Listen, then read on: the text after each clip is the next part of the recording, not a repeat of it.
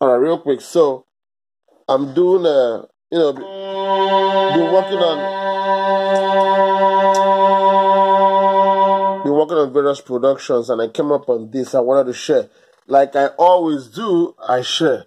So when you get your loops or your sounds, your one shots, all right, from the internet or from even from the from Maschine, from native instruments, when you buy them, when you download them, sometimes they come the way you want to use it.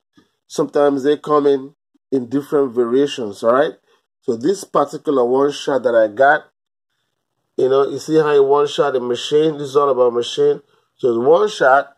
So when I play it,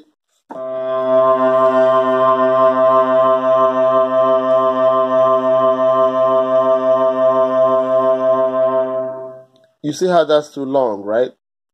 I can't even play that like like keys on the keyboard.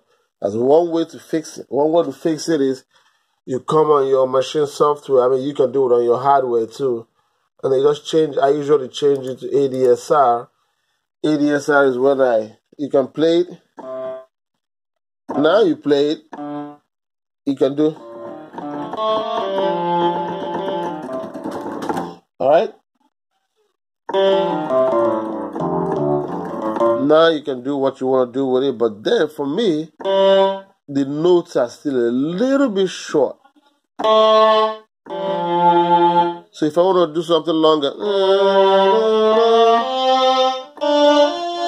all right, it's a little bit short. So what you can do, you come onto your your Maschine also.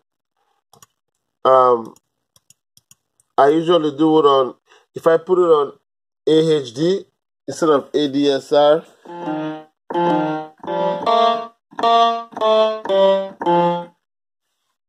I can do this. I can see the hold. I can move the hold a little bit until I get what I want. So now when I hold the key, I get a longer note.